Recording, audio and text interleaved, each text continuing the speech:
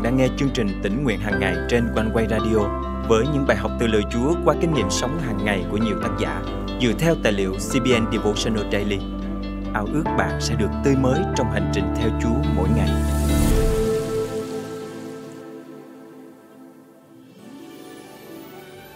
Điều gì có thể kết nối tất cả mọi người lại với nhau, bất chấp mọi khác biệt về sắc tộc, ngôn ngữ hay địa vị xã hội?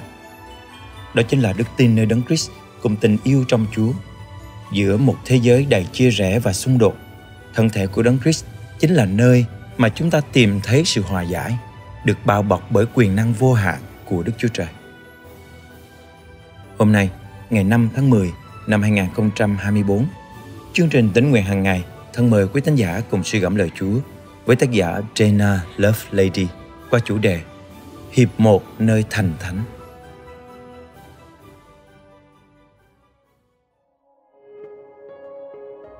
Trong thời gian học tập ở Jerusalem, tôi tích góp cho mình những trải nghiệm tuyệt vời.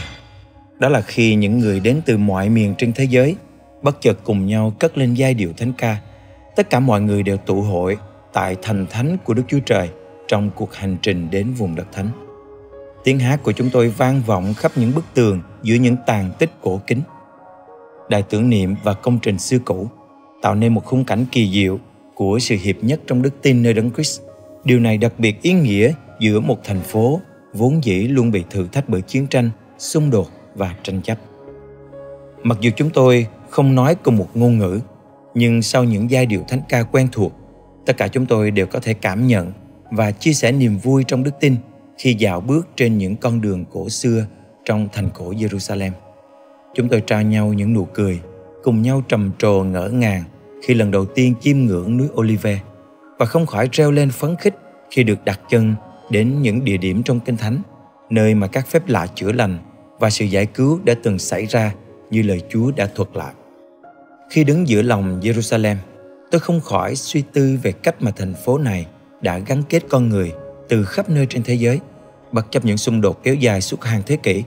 Dẫu vậy, Jerusalem vẫn luôn là nơi khơi dậy những suy ngẫm sâu sắc, nơi mà chúng tôi cùng nhau chia sẻ những cảm nhận về sự vinh quang của thành phố thiên liêng này. Thi Thiên thứ 87 câu 3 Hỡi thành của Đức Chúa Trời, người ta đã nói về vẻ vinh quang của ngươi.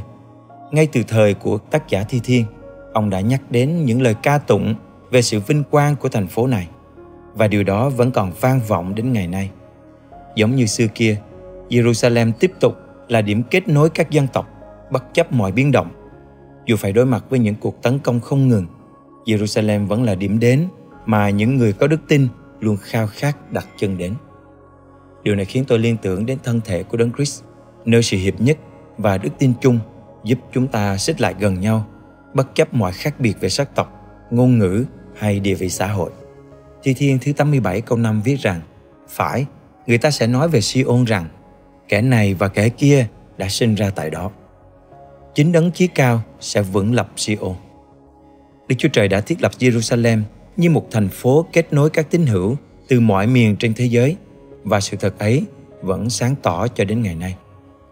Ngay cả trong những lúc xung đột, chúng ta vẫn có thể tìm thấy sự hòa giải nhờ vào quyền năng của Đức Chúa Trời và cùng nhau trải nghiệm sự thông công mà Ngài đã định sẵn cho chúng ta.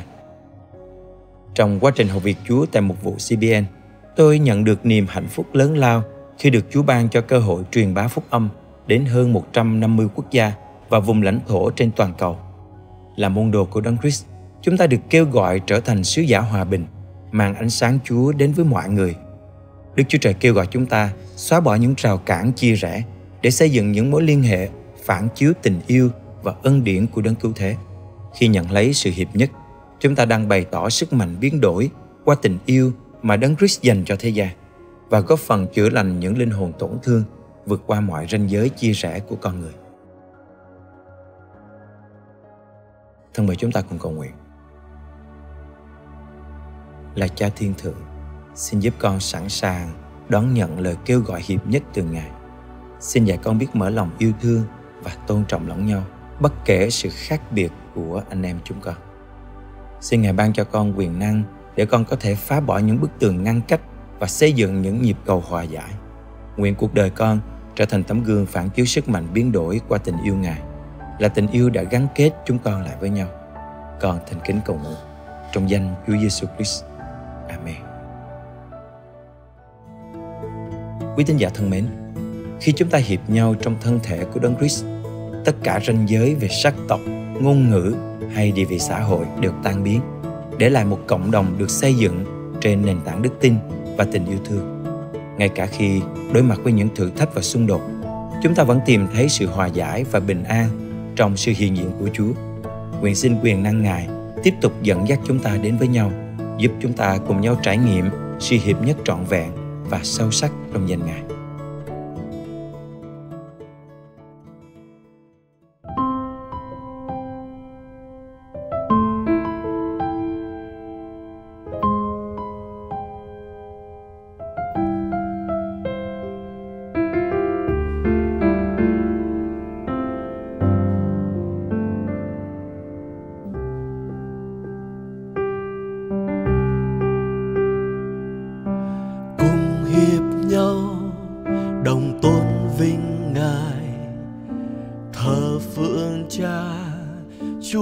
Chúa muôn loài. Thần linh ơi, ngài diêu con mãi. Ngự trong tâm con. Dòng sương tỏa lan từ trên nơi cao. Phú che bao quanh, tràn nơi trung thơ hiệp một trong chúa cha ơn phước lớn thay cho mỗi một người. Dòng sương tỏa lan từ trên nơi cao. Phú che bao quanh tràn nơi trung thơ. Hiệp một trong chúa cha. Ơn phước lớn thay chúa đã cho ta thật vui thay hiệp với nhau cùng. Thờ Giêsu đấng cứu linh hồn. Vì thần linh, ngài trên ta mãi. Diệu vinh trong cha.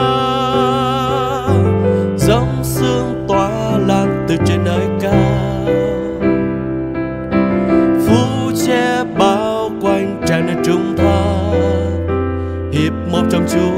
Cha. Ơn phước lớn thay cho mọi một người. Dòng sương tỏa lan từ trên nơi cao. Phú che bao quanh tràn ngập trung tháp hiệp một trong chúa cha. Ơn phước lớn thay chúa đã cho ta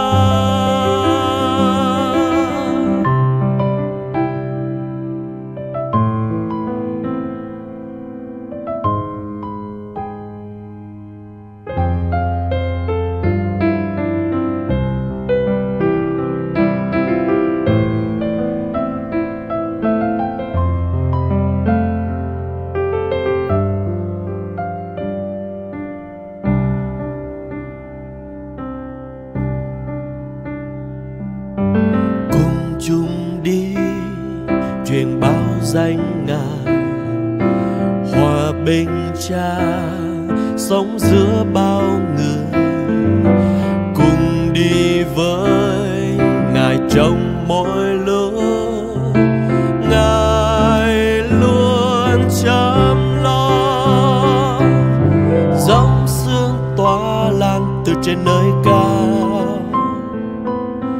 Phú che bao quanh, tràn nơi trung tháp hiệp một trong chúa cha ơn phước lớn thay cho mọi một người. Dòng sương tỏa lan từ trên nơi cao. Phú che bao quanh tràn ở trung thơ hiệp một trong chúa cha, ơn phước lớn